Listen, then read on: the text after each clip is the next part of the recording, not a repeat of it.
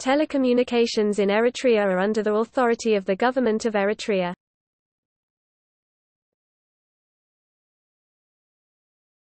Topic: Infrastructure. The Eritrea Telecommunication Services Corporation, more commonly known as EriTel, is the sole operator of both landline and mobile telephone communication infrastructure in Eritrea.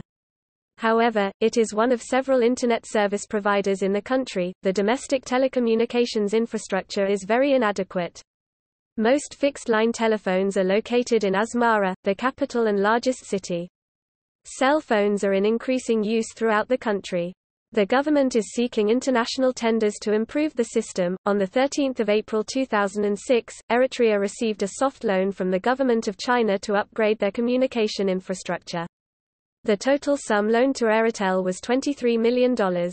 All major cities are connected to the mobile telephone system in Eritrea except for Nakfa, Afabet, and Aseb, as of 2006. Afabet and Nakfa are expected to be online by July 2006.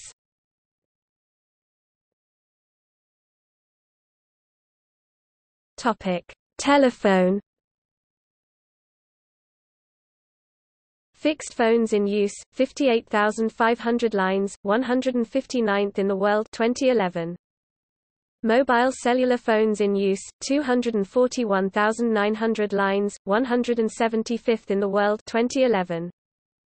Combined fixed line and mobile cellular subscribership is less than 5 per 100 persons 2011. International Country Code 291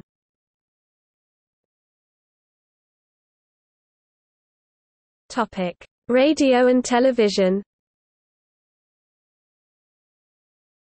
The government controls all broadcast media with private ownership prohibited. Purchases of satellite dishes and subscriptions to international broadcast media are permitted. Radio networks, two state-owned 2007. Radios, 345,000 1997. TV stations, one state-owned 2007. Televisions, 1000 1997.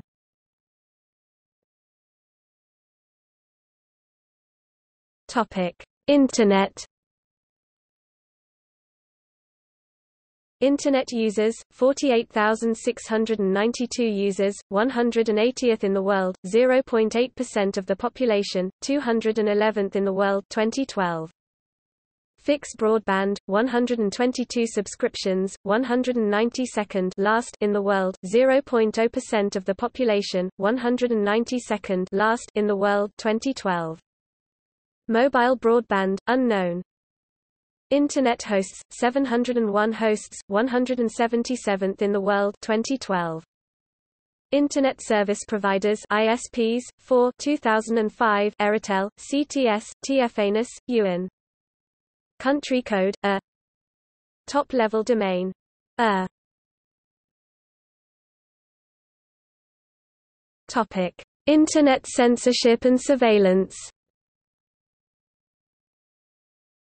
Listed as under surveillance by Reporters Without Borders (RWB) in 2008, 2009, not in 2010, and again from 2011 to the present, Eritrea has not set up a widespread automatic internet filtering system, but it does not hesitate to order blocking of several diaspora websites critical of the regime.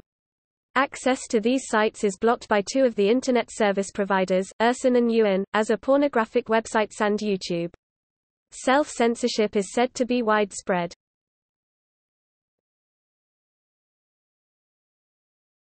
Topic. See also Media of Eritrea